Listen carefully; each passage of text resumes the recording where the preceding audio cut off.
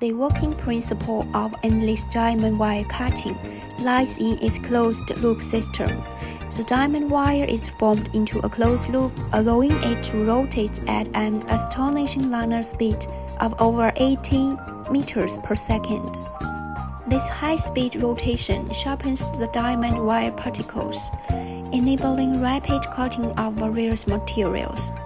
Furthermore, the n-directional motion eliminates the reversing marks commonly seen in traditional wire cutting caused by wire direction change.